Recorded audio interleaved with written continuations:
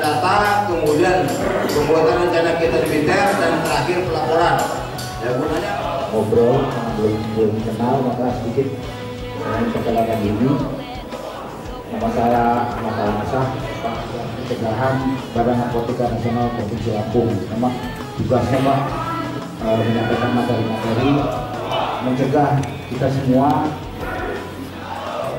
alamat rumah di Rias Merosa 1201 Heli Permai Jaga Lampung 60 persen, yaitu 2,8 juta orang menjadi 3,3 juta orang pada tahun 2008. Jadi naik 20 persen, 20 persen terus.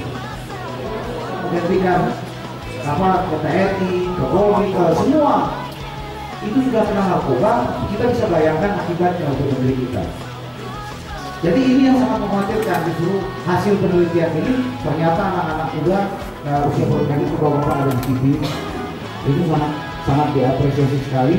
Justru uh, TNI dan BNN kerjasama sehingga bisa mengungkap 10 kilo sabu itu nilainya pak hampir 12 miliar. Karena sabu nanti kita lihat bentuknya mungkin sudah ada yang tahu sabu itu satu gramnya harganya 1,2 juta per gram. 1,5 1,2 segram itu setujuh pentol korek api itu jadi kalau punya satu kilo berapa nilainya? Nah itu yang kita bayangkan. Nanti kita lihat bentuknya dan akibatnya. Biar semua kita uh, tahu. Lanjut. Uh, izin kami bertanya. Uh, tadi kita sampaikan beberapa materi ada narkoba. Yang kami pertanyakan mas sekarang pertama yang dikonsumsi oleh artis di pos ronde itu jenisnya kayak itu apa Dexon apa itu ya? Itu jenis apakah tahun pernah bagaimana saya pernah mendapatkan sekitar hampir 20 outlet tempatnya itu sisanya. Tapi saya perhatikan jenisnya apa Pak? itu menurut menurut apa mapping BNN provinsi Lampung di Lampung juga sudah ada yang nama tapi belum banyak. Sudah ada sudah ada kita kita sudah tahu di daerah-daerah belum sana. Itu ada yang bernama metilon apa? Kasino cuma kita awasi terus jangan sampai dia apa menjadikan itu sebagai produk produksi pak. Nah, itu luar biasa. Hukumannya sangat berat. Itu ya Pak Senario metilon itu 0,5 miligram 0,5 gram itu harus direhabilitasi. Tetapi di dalam undang-undang yang lama memang harus diteruskan dulu oleh sadar itu masih ada yang tinggal pengadilan tetap diproses.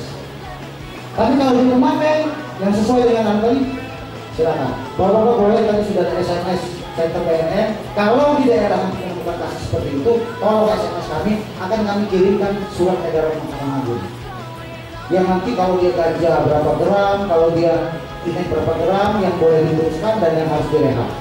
Yang keempat itu menyatakan bahwa orang yang melaporkan diri baik kepada institusi Polri maupun ke BNN itu tidak boleh dikenakan tindak pidana. Wajib untuk direhabilitasi ini undang loh Pak.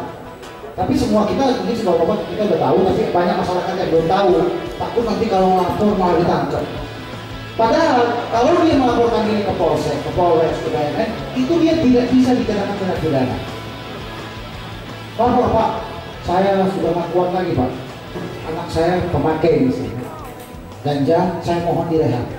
Itu dia kalau tertangkap sewaktu-waktu, dia tidak bisa dikenakan pidana karena dia sudah melaporkan diri, ada kartu lapornya, ada kartu rehabnya, iya kartu kuningnya itu, kartu rehabilitasi. Tapi kalau dia tidak lapor, itu tadi menurut tetap diproses, tapi nanti yang memutuskan direhab atau tidak direhab adalah hakim. Biasanya ketika sudah diprosesnya sampai sidang, nanti sidang hakim menentukan rehab, selesai.